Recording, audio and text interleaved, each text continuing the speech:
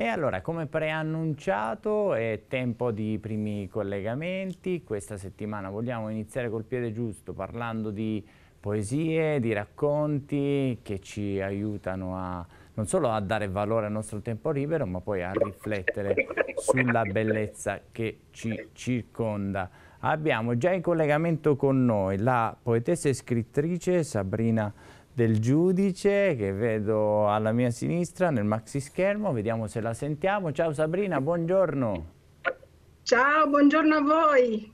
Ben trovata, grazie per il tempo che ci dedicherai stamattina per parlare delle, delle tue opere. L'occasione è questo, questa raccolta di racconti, donne, pagine dal cuore, che eh, ci ha permesso di, di, di conoscerti, però tu sei anche una poetessa prolifica, e, ecco, ma facciamo un passo per volta. Intanto la regia ci sta proponendo la copertina di questa raccolta di racconti molto bella, eh, tanto la copertina quanto eh, il, la, la, raccolta stessa e poi eh, questa è una foto che arriva direttamente dal mio desk dove ho altri, altri tuoi titoli, dei piccoli eh, libretti che però contengono tante emozioni.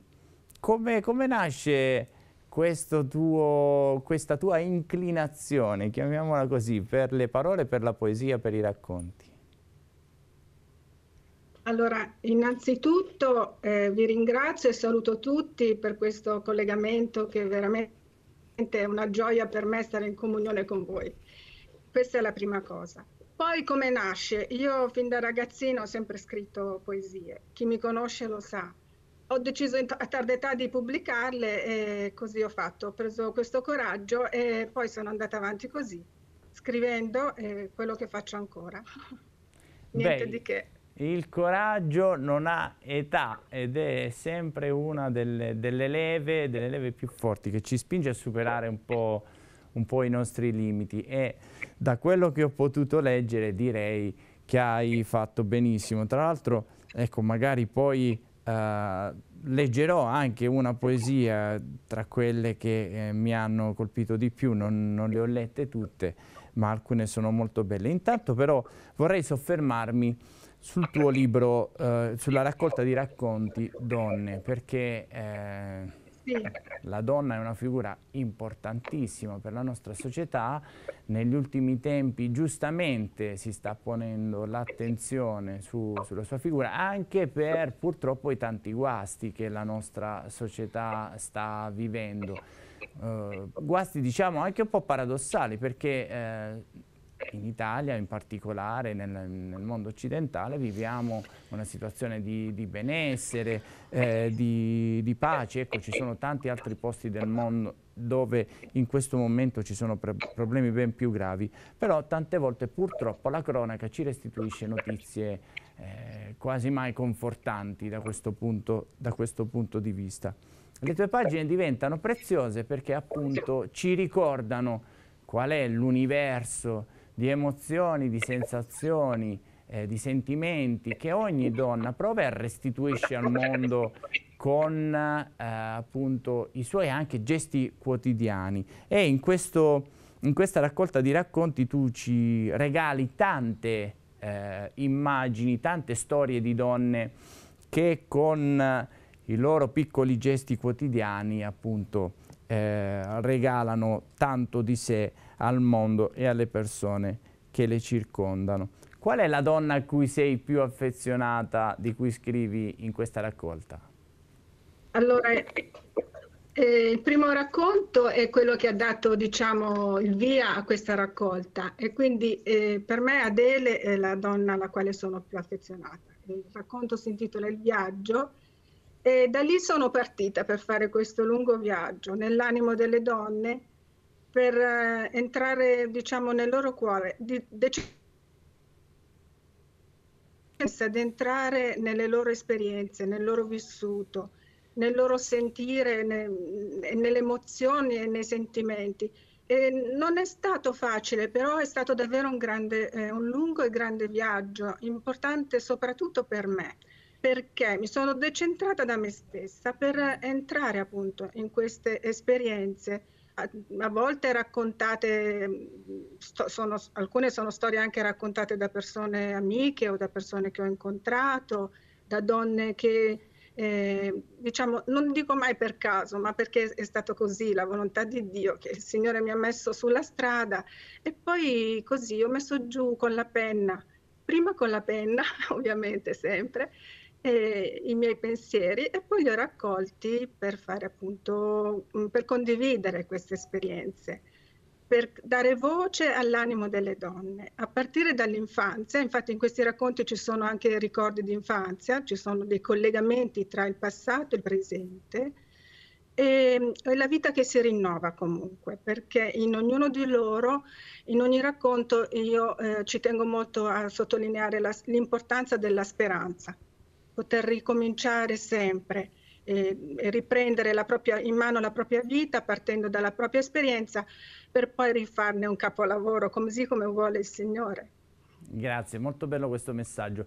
In studio con noi c'è anche Maria Pia Picciafoco che è una grande amante dell'arte, della letteratura, del cinema. Solo qualche istante fa, eh, ricordandoci la ricorrenza del 2 giugno, faceva riferimento per esempio a quel film della Cortellesi che tanto ci ha dato in eh, questi ultimi Sì, ricordiamo ultimi il titolo C'è ancora domani. Esatto. C'è ecco, ancora domani, Pia, sì. Quanto è importante l'arte, la letteratura per veicolare questi messaggi? Eh, volevo chiederti, Sabrina, se posso, quando tu ti confronti con la grande letteratura, non ti faccio la domanda banale a chi ti ispiri, chi ti piace di più, perché è troppo banale, però quando ti confronti appunto con la grande letteratura, ti senti più consolata, spronata a continuare o intimidita?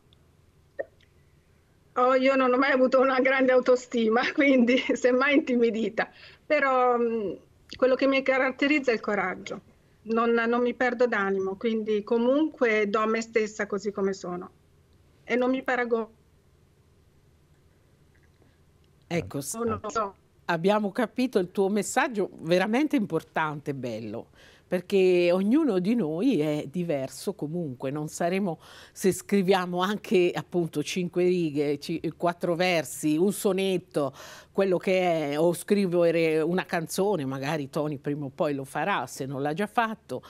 Eh, è nostro comunque, è un fatto di sì. un'unicità che appunto secondo me è una grande conferma proprio che esiste Dio. Io l'ho sempre pensato questo. Sì, sì, sì, e poi mi riaggancio a queste riflessioni perché eh, è molto bello anche immaginare non solo la vita di ciascuno di noi, ma anche le nostre produzioni eh, artistiche come piccole tessere che vanno ad arricchire quel meraviglioso mosaico eh, che è appunto rappresentato dall'umanità.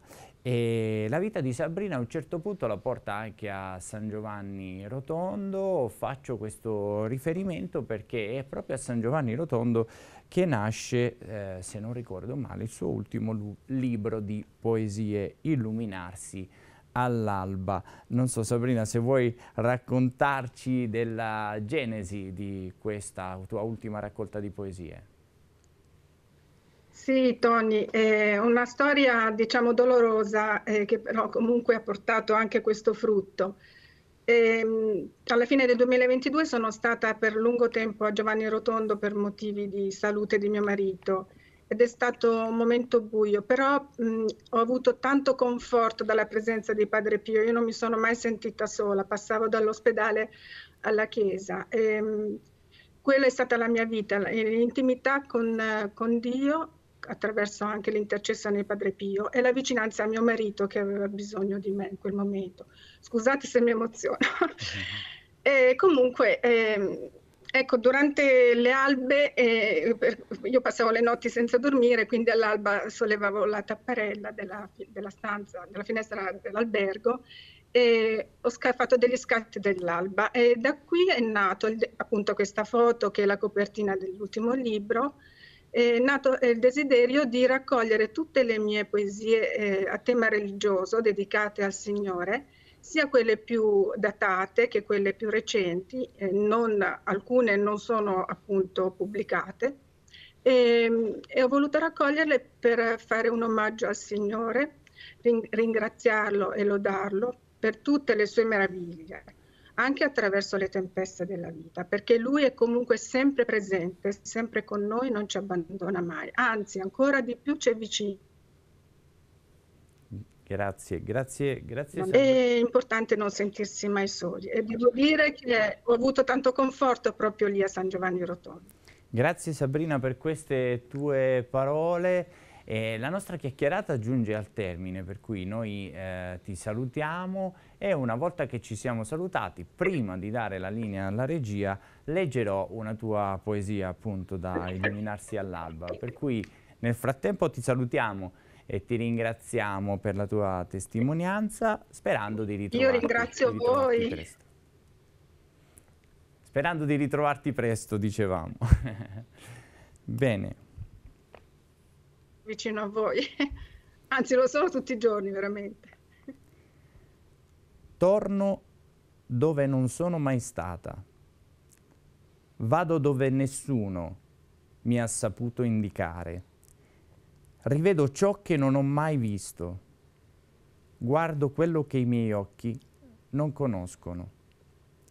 Una valle, un guado, una cima, un fiume, da dove, da ogni dove fuggo e torno a te, che conosco, per andare lontano, più vicino al mio cuore.